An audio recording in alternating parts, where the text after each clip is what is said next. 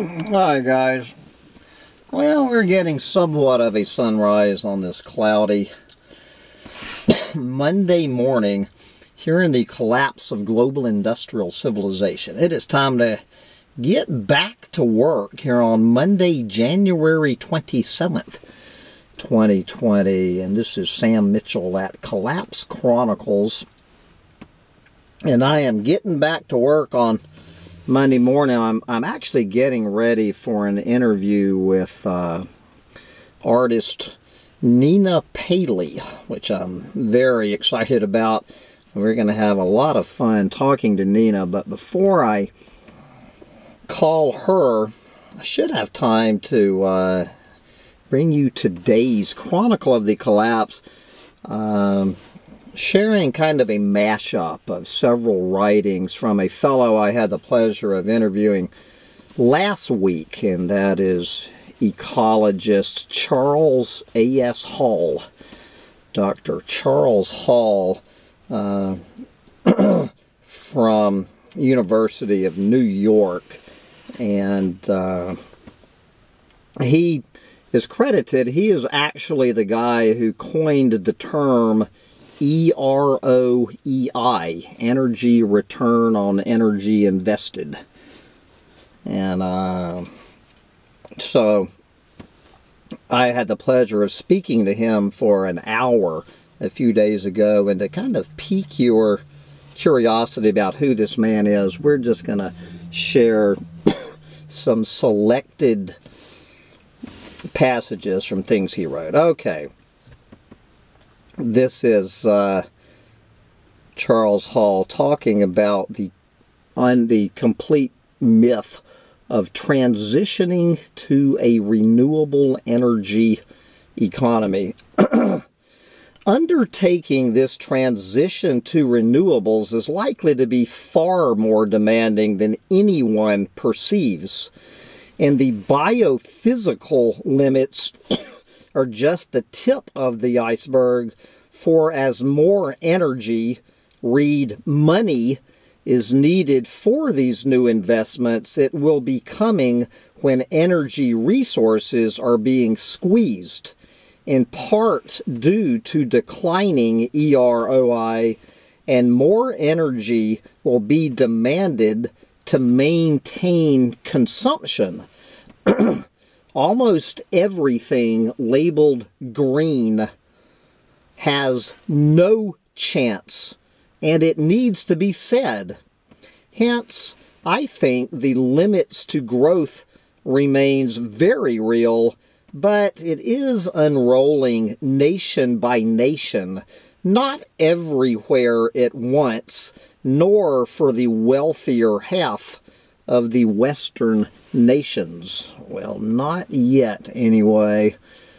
Uh, renewables, and now I've, I've talked about this with other folks. This is uh, Charles Hall pointing this out that renewables are being added to, not displacing fossil fuels and oil use continues to increase.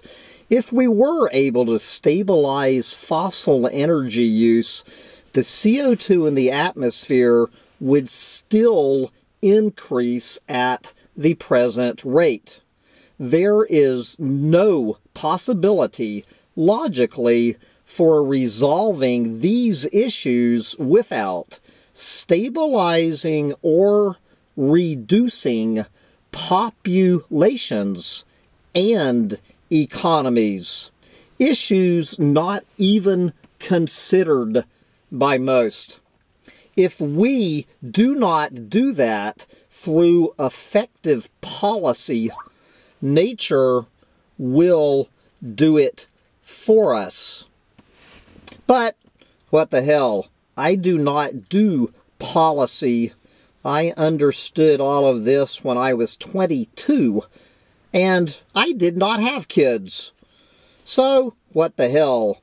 But I do not wish to inflict or see pain on any humans, and I think the pain would be less if we collectively understood all of this. yes, do you think so, Charles? Okay. The co- I wasn't the collapse of complex societies. I think was written by Joseph Tainter. I think is what he's uh, referring to here. The collapse of complex societies gave a general mechanism for collapse. The necessary development of energy requiring complexity as political systems and central cities expanded, increasing their need for imported food and other resources which had to come from further and further away. Eventually, these societies could not afford to maintain that complexity. All historians deal with the complexity of factors that generate, sustain, and cause the demise of cultures, and thus they are systems scientists with or without computer models. The growth and demise of cultures continues to be a fertile area for the application of concepts and tools generated within or parallel with systems ecology. I get in my email inbox various assessments of the probable collapse or occasionally the unlikelihood of collapse of modern societies or economies nearly daily. then he talks about the uh, the book The Limits to Growth. The limits to growth generated extraordinary interest. This book, I think, was written in 1972, if I remember correctly. This book, The Limits to Growth, predicted that if certain steps were not taken, that the global economy and civilization itself was, after a period of extended growth, likely to experience some very rough sledding due to the combined impacts of pollutants and resource depletion. the World 2 model from the Limits to Growth mapped important interrelationships among world population, industrial production, pollution, resources, and food the model showed a collapse of the world's socio-economic system and human population sometime during the 21st century if steps were not taken to lessen the demands of the Earth's carrying capacity. And of course, every year since 1972, uh, World Overshoot Day Earth Overshoot Day has gotten earlier and earlier and earlier. I was just reading an article a few days ago how we hit 100 billion tons of resource consumption last year uh, for the first time in human history. So do your own math. Okay. The model was also used to identify policy changes capable of moving the global system to a fairly high quality state that is sustainable far into the future. Undertaking the seemingly logical thing, that is, investing further in resource exploitation, which of course is exactly what we have been doing since 1972, caused greater chaos sooner. Hmm. Interestingly, the only way that the authors of The Limits to Growth could find to generate a stable future in which the population and other factors would not eventually move into violent oscillations was by limiting the growth of the human population and limiting all investments. if investments were not curtailed, then even if the human population were stabilized, the model predicted an eventual crash of civilization as spreading per capita affluence continued or even accelerated the processes of depletion and pollution generation. What did I just say about hitting 100 billion tons of uh, this planet eating stuff for the first time in history last year? This is an extremely important issue, not usually considered by those today devising, quote, sustainable futures. Mm-hmm. Okay, and then we're going to finish up with this long uh, passage. I'm sorry, I don't have the name of this paper. I am sorry. Anyway, break this down for us, uh, Charles Hall. Many analysts believe EROI, meaning energy returned on, you know, the energy invested, is a critical tool for understanding the future of civilization. The frontier of biophysical economics today includes a wide range of other topics as well. For example, um, Hall, meaning Charles, and Ramirez Pascualli explore how vital fossil fuels, how vital fossil fuels are for the development of modern socioeconomic systems. Figure 1b, which you have to see the paper to look at. Figure 1b shows the simple biophysical economic model that begins to better reflect the embeddedness of the socio-economic system in the biophysical world. Economic policies emanating from this model would have to reflect the realities of the biophysical world to address the root causes of societal problems and to ultimately avoid crossing the planetary boundaries of our global ecosystems.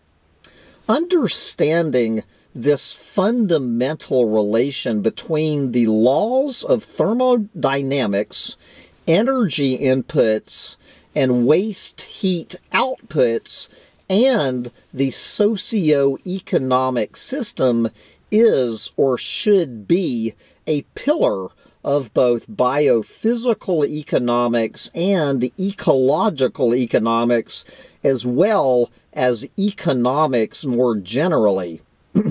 the first law states of, of thermodynamics states that the quantity of energy is conserved, and the second that the quality of energy degrades with use. Since the prosperity and stability of modern society is inextricably linked to the production and consumption of fossil energy, amounting for over 80% of total energy consumed. The sustainable quantity and quality of any transition away from fossil fuels should be at the heart of any discussion of economic development. it is obvious that the increase in GDP is closely related to the increase in energy use, implying that energy is required for the increase in wealth to occur. This is consistent with the thermodynamic concept that work, which economic concept that work which economic production most certainly is, cannot occur without the expenditure of energy.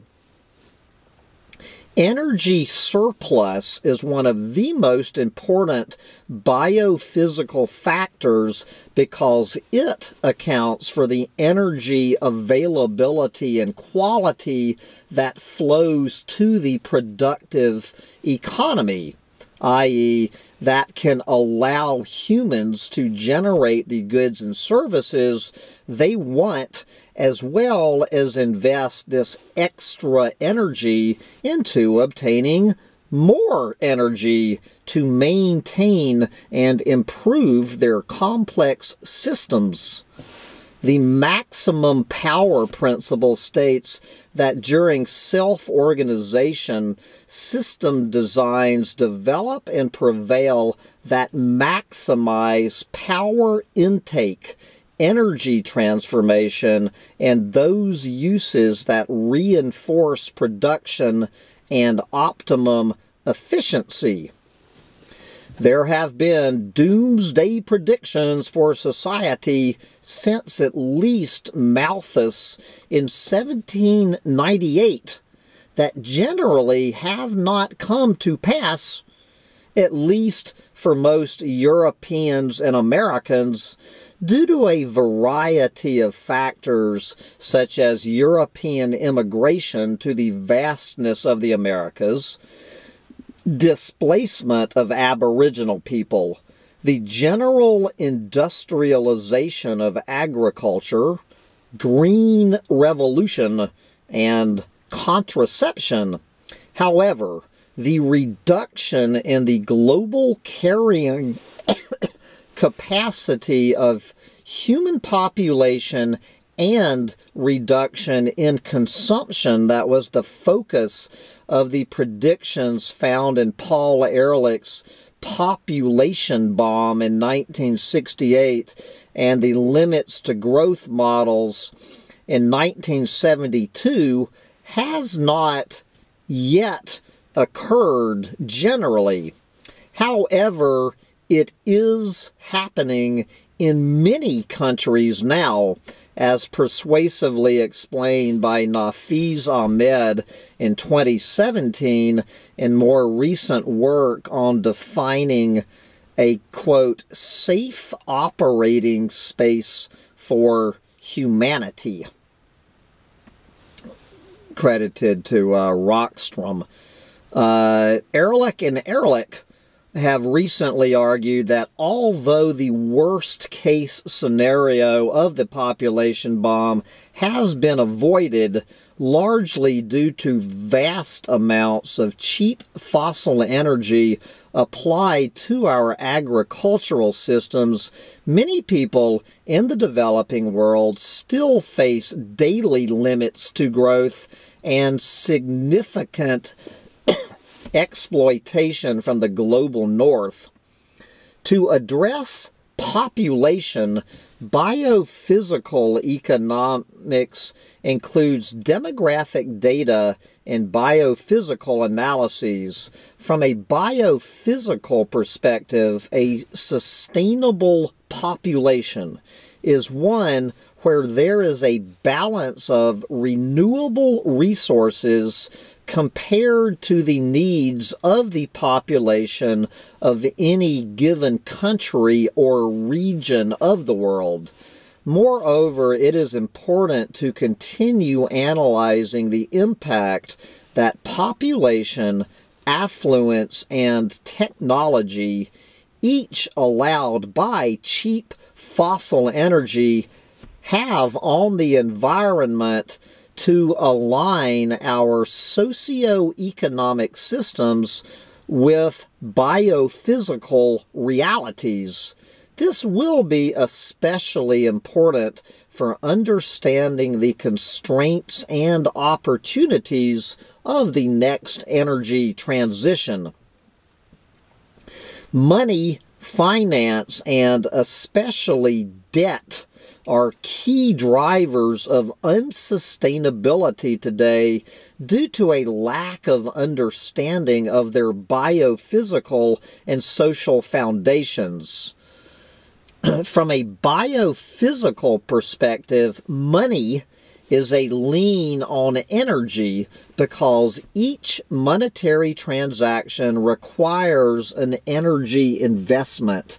And he goes into this during, I, eh, eh, during our interview to explain this in terms that we can understand. For example, in the U.S. economy, it takes on average the energy of a half a coffee cup of oil to generate $1 worth of value of goods and services.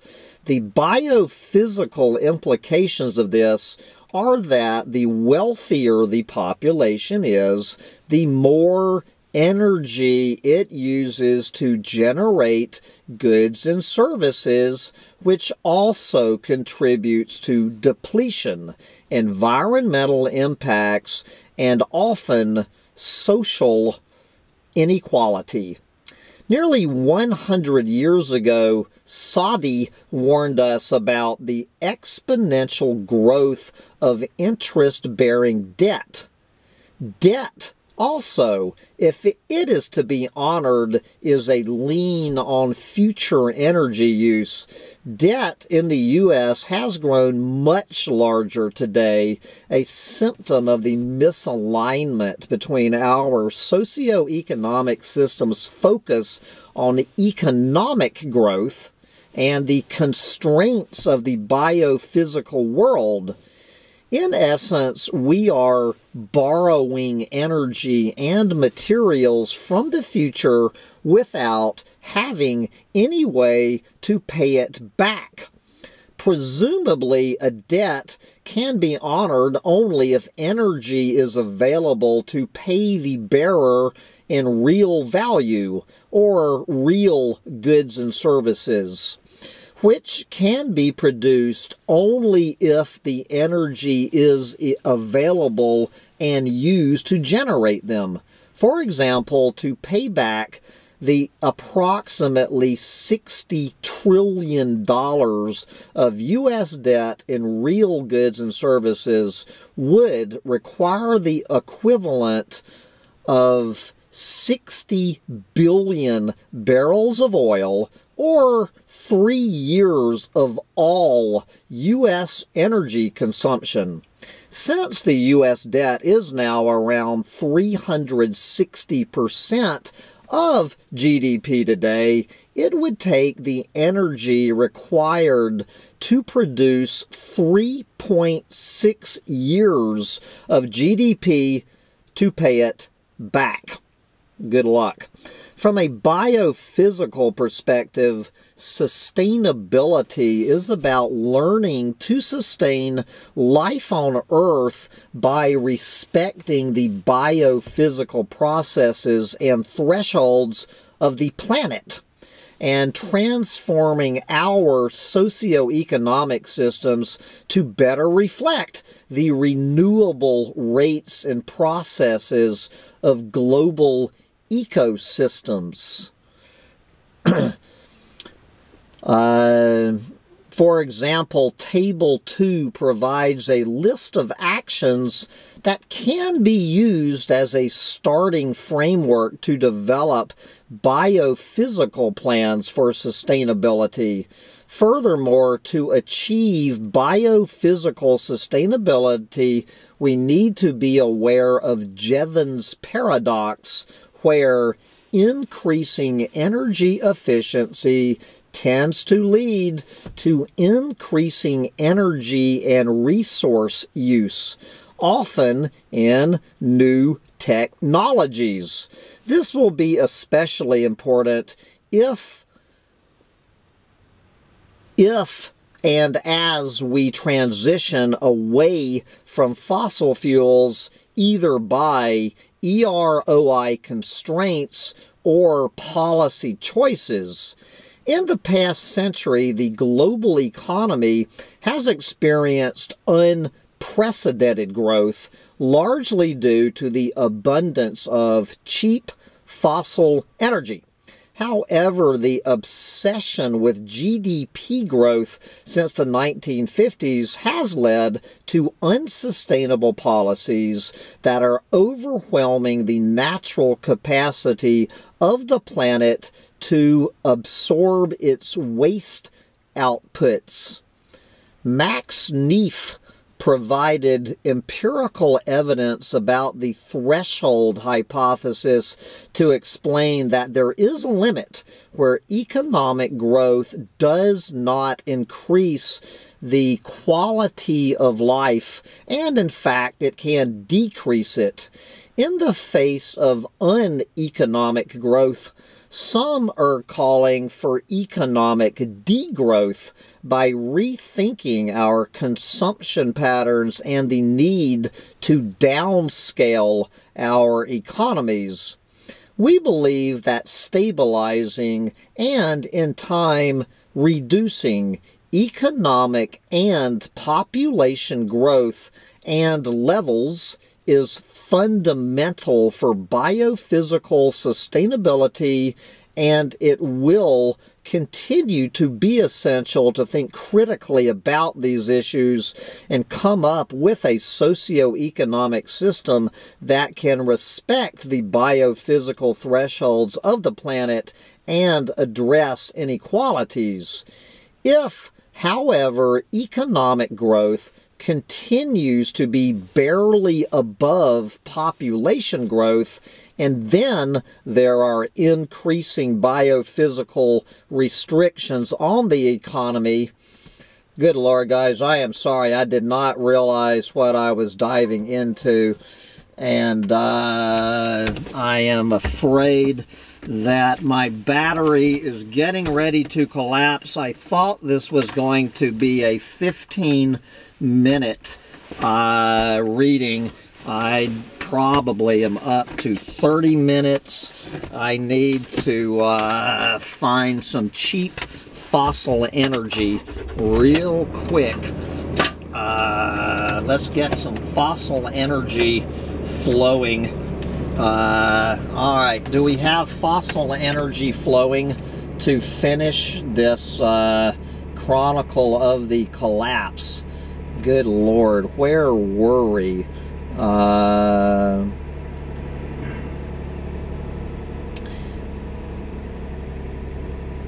anyway, guys, uh, at some point, I, I, I, just I did not have any idea uh, how long this was. I did not, uh, obviously, I did not, I, I misunderstood. But anyway, I think we get the idea because uh, this would go on for another 15 or 20 minutes.